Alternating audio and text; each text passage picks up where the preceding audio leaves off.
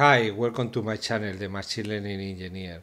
Today we continue with the series of videos I'm doing about RAG, Retrieval Augmented Generation, and today I will introduce you the technology Langfuse. Langfuse is an open source uh, engineering platform which helps you to uh, develop uh, applications which have AI component, essentially an LLM component.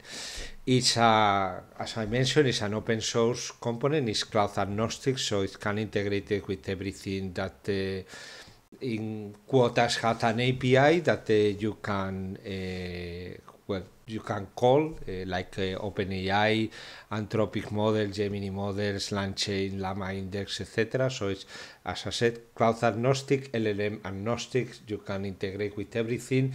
Uh, if there is not included on the on the library, the integration with the with the with this uh, technology with Langfuse, uh, you can do it via a customization. Uh, has an, a Python and JavaScript API SDKs, which allow you to extend the functionality of the of the platform of the of the native. Um, uh, SDK. With what allow us uh, to do Langfuse? Uh, for those that are familiar with the uh, Smith or MLflow uh, evaluation and prompt uh, and traces in MLflow, you will find this technology very very similar. So probably more close to uh, MLflow because it's, uh, as I said, uh, cloud and LLM agnostic. It had uh, some native integrations which allow you with two uh, simple line of code capture all the traces, steps, metrics, analytics, evaluate, do the, the testing, log your artifacts, everything in your in your experiments. So in that aspect, it's pretty similar to to MLflow and uh, probably in terms of the dashboard or in terms of the uh, look and feel is very similar to Lan, uh, So again, uh, it's an open source tool for a, a company had developed is in is uh, seated in uh, Germany. Uh, for the time being is open source you just need to onboard. To onboard on the platform is very simple. You just go to the uh, https langfuse.com and then on you use your uh, email address. You create a user or a more than a user a, a um, let me a dashboard uh, in this uh, or uh, well sorry an organization and inside this organization you can create different projects. Once you have uh, the project created uh, you get something like that. Uh, as I mentioned you you onboard you create an organization inside the organization a project and connected with your organization you will get uh, to um, some uh, keys, the public key, the secret key, and the Langfuse host, which essentially is two URLs, one for Europe and the other one for the United States. So once you finish the process of onboarding, you get all this data, and as I mentioned, it's uh, for now free. Once you are inside, you get this uh, dashboard, pretty similar, as I mentioned, from those that are familiar to uh, uh, Smith. Uh, well, uh, change uh, obviously a little bit, uh, and you have here everything that you have been done. It had very interesting stat to calculate costs the, the traces uh, evaluation here in the on the left menu uh, this again pretty similar to what you can do with uh, MLflow user prompts playground data sets in tracing you had models everything that they have a kind of dashboard where you can uh, look at uh, the costs of the different models uh, from the different providers documentation pretty extensive, a lot of examples. It's really good uh, tool that you you should have, or at least you should know that exists later you decide what to do. Especially if you are working in a project or an environment where you have multiple providers in terms of LLMs or in terms of frameworks, like you have to combine, uh, I don't know, eh, there is probably such use cases where you need to combine uh, multiple access to different SDKs with Llama Index, with LangChain, with other technologies, and then on. Uh, using Langfuse and there is not, uh, how to say, connected uh, specifically with any technology, you can use to evaluate all of them. In case of the, or to do traceability, which is really important uh, to understand what's going on under the hood with your application, uh, is as well integrated in a very easy and clean way with uh, different technologies, uh, among them OpenAI, Anthropic SDK, Gemini SDK, LangChain, Llama Index, and some others. You can go to the documentation. Uh, it's a lot of the stuff here going on. Little LLM, uh, Hightstack, Mirascope, Flowwiz, Langflow, Vectorrod, Mistral SDK. So a lot of the stuff is really Ollama. So commercial, non-commercial, uh, eh, LLMs and platforms. Uh, uh, all of them have simply integration, very clean, very easy to use. It's just very similar to what we do with MLflow in autolog mode. Just simply activate it or import it from MLflow, the taste or the flavor of the technology that you want to use, and the rest is practically done. Um, you will see now on the notebook I have prepared uh, with some examples. You will see how easy is integrate some uh, technologies and just simply log the data into the into the Langfuse uh, dashboard. Sessions generations, well, scores, depending if you want to create. If you remember, if you have been working with MLflow, you remember that we had uh, metrics, scores, uh, artifacts, uh, evaluation of LLMs. Here there is a similar approach to what MLflow is doing, metrics and LLMs as a judge. So this means that use another LLM to evaluate the output of this LLM a playground where you can choose just simply uh, a, a, model and start to interact with uh, is completely open depending of the of what uh, to who you want to integrate everything that is as i said available here. In the model models repository you want to say that. Okay, so let's go to, to take a look to what I prepared for you. I will later upload this to the to the channel repo, and then you will be able to later download uh, to your local environment and play with that.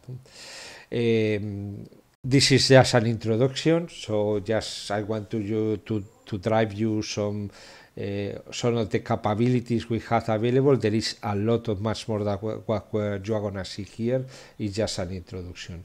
SDKs, as I mentioned, Python, JavaScript, TypeScript, and direct integration with uh, most of the popular frameworks, multimodal support. Well, it's, it's quite quite uh, good what they have done. Uh, and definitely something that you have to keep in uh, to keep track to what they are doing, uh, especially if you, if you are working in such environment where you don't tight or you don't you use multiple technologies in, with for multiple use cases. Obviously, you are working with uh, LAN, LAN, LangChain or um, and LangGraph, uh, all the technologies around a, a LangChain technology, well, probably it's easier to use uh, LangSmith because it's, uh, well, uh, the, the, the, uh, the same people is developing the different interface, so it's uh, pretty pretty much use uh, that technology. But if you have a mixed environment, uh, probably you have to keep an eye to this or uh, to uh, MLflow like uh, the videos I showed you previously on the on the channel okay so I, get, I give you here some of the interesting links to you start with the technology. We install what we need for the demo. We import, uh, we will we download some uh, file examples for our purpose here we just set up the, the environment in we are working in a Colab uh, notebook in, in a CPU no need to use a GPU here. You have three important uh, environment variables LangFuse public key secret key LangFuse host. After creating the project or the, sorry the organization you will get these values and you can use it for any any experiment that you are gonna trace uh, using LangFuse so here the first uh, uh, sample, we are going to work with OpenAI. As you can see, very similar to MLflow. You just have a flavor OpenAI, you just create a client, and the client is replicating exactly the functionality of the OpenAI SDK client. Here we open a file, it's a picture, and then we just create a completion. We pass the model, we have the uh, library on the uh, sorry, pardon, the key on the on memory on the environmental variables, and we uh, send a call to the. Uh, let let me do it again, and then on you will see, and then here the call is uh, completely uh, or exactly the same that you do with the OpenAI SDK. And here with OpenAI that flush LangFuse, this is probably for, as I said, for those that are familiar with MLflow, this is the same that doing or activating the autolog, or in some cases you even don't need because it's activated by default, and then you just need to integrate a, a um, to lock the model or you start a run in MLflow, this, uh, this is practically the same. When you use a technology that has a full integration with, the, with LangFuse, you don't need to do anything apart of Flush uh, LangFuse uh, to do the to use the the the class and do flush LangFuse and with those you will get a, a trace in your here is that one exactly. And you can see here you had uh, what happened here is just pretty a, a completion. There is not much to to log here. So you just had the image that we use the what the assistant response what we answer what we ask here also JSON format and here you have the trace. Obviously one simple step because this is a pretty sim very simple very simple uh, interaction with a with an SDK now you have the the content. And this as I said is exactly the same that use OpenAI SDK now we use uh, audio and input something similar and then on we will print the transcription of the joke. And yeah because they can handle the words. But I don't know these uh, jokes uh, not very sure what this means. OpenAI generation is still creating that or not. Uh, one second I just that should be there uh, LangFuse oops sorry where is this here? Should be there maybe it's on the same.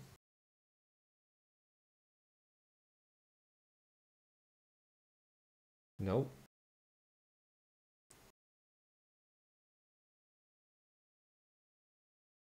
Oh, bup, bup, bup, one second so here we are, exactly. Sorry, so it sometimes take a while. Tell me a joke involving the city Berlin. Yeah, you can understand. If you if you hear the the recording, it's, says a pure German accent. But the... why don't birds in Berlin sing in the morning? Because they can't handle the worst of it. yeah, this verse uh, is a word in German. Uh, well, uh, again, this is uh, pretty simple examples. you can see how easy it is to just get the trace of your interactions with the SDK. Now we are going to use a Python decorator, and this is something as well. Uh, the same that the MLflow, you have the technology or other uh, the SDKs, you have decorators here. Everything that is under, so every function that you um, decorate with the observe decorator is going to be log the activity into the uh, Langfuse uh, dashboard.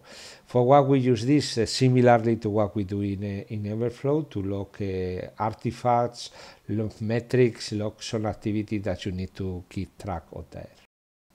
So we just uh, create it, and then at the end as well, once you define or share, Langfuse context, flush, and here we will have probably is still need to open AI generation. It has to be something like this main.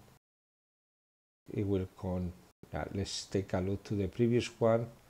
This is what I did from the uh, in the previous video from the Spanish community. As, as, as you can see here, uh, you have the PDF. Uh, I don't know, it's one one PDF, and uh, yeah, it's, uh, you uh, have been worked before with. Uh, you will see that you have the possibility or the ability to lock artifacts just to keep everything in a single environment, in a single experiment to later on when after some time when you want to go to review what happened in that specific experiment you had all the documents all the tables all the pdfs everything that you use it on the on the, all the configuration the traces etc etc you want to later on keep uh, or review the the, the traces re review what happened in that specific environment.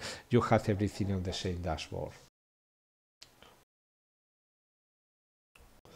Okay, now we are going to see the integration with LangChain. Here is exactly the same, but here we use the callback, callback handler. You just create a callback, callback handler, and this is going to uh, capture as well, uh, similarly to what we do. We don't have a, a, a integration directly with LangChain. We do it via callbacks, and then on here, uh, once you initialize the callbacks, uh, the callback. Sorry, uh, you just use uh, pure LangChain uh, code uh, to work with uh, with with your LangChain chain. In this case, we just create a model.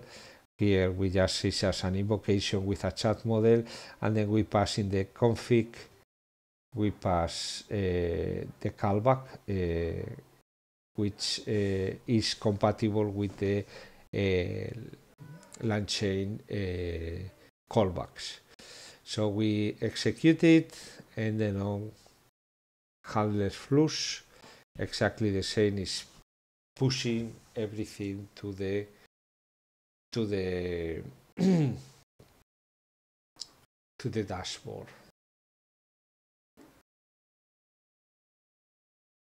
Here still not there. As I said, sometimes take a while let's move to the next and then we will review both. Now we will do Llama Index and Milvus integration. We are going to do a call uh, to a LLM using some uh, vector store uh, to, to use uh, the information, keep it in the vector store as a context. Here we are going to use a PDF. well, we do the imports, Llama callbox index, exactly the same that or similar integration that we have with LAN, LangChain, uh, but there is here a specific uh, callback handler for Llama index and then on in the settings, the setting object that you probably remember is where you configure your LLM, your callbacks, your uh, vector stores, your Eh, is an object to which define all the components that are part of this eh, eh, of the of the index that you have created. Here we this is the path where we have a PDF with the simple directory reader. We read the, all the PDFs that are in this folder. In the folders context drive my drive is just single a single file, and then on with this we are going to load the PDF and convert every single page into a document uh, Llama index document. As you can see here, we have 143 pages, and then we convert it into every page into a single uh, Llama index object. Here, let's do it again. It's gonna take a while. Here we create a Milvus uh, vector store. Uh, you can see here we just use the dimensions of 1536 as if we don't say anything, uh, it's going to integrate directly with the vector embeddings uh, of OpenAI. And uh, well, that's why we use these dimension size. Uh, we don't overwrite here. It's just if you run it again, you you create it again from scratch. As you can see here, uh, or you probably you have been working before with Milvus. Uh, here we are just serializing and keeping everything inside of the uh,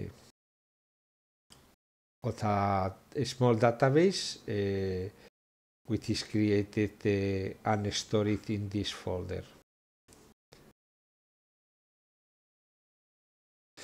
Now we create the storage context uh, from the false using the vector store and then on we add the documents we just had created here with the simple directory read it. We add all the documents and now we create a prompt and we make a query in this as a query engine and then in this case it's going to use the LLM to answer the question. Here the question return it, you have it here, print response name and you can see here the metadata, the pages that have been used, the page number 3, uh, etc. Let me check. Page label 3 and page label 2. So we are only getting back to two documents from the file and with these two is more than enough to answer the question. So now we can take a look, uh, let me prompt response. And you have it here. And we flush as well the back the values to that. Okay, we are going to refuse uh, to uh, okay. So here we have uh, chat OpenAI. This is the interaction with the image this is the LangChain this is the image. And here you have the assistant OpenAI the metadata exactly everything that you need to understand what's going on. Again it was a single step so uh, yeah not not very complicated uh, stuff. Here you have the llama index. You can click on it and then on you can see here is much more complex because here we are using a vector store. We have the input, the output, and you can also uh, keep this in JSON. The scores, no, no using here, and then on you can keep templating, synthesize, query, etc. You can explore everything that happens, templating,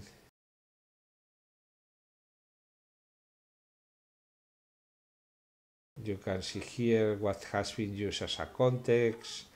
So again, for those who are familiar with LangSmith, sorry, or uh, MLflow, uh, you will see that this is pretty similar. Here you can you can check what has been used as context together with the query of the user context information, the system, etc. And okay, that's pretty much all.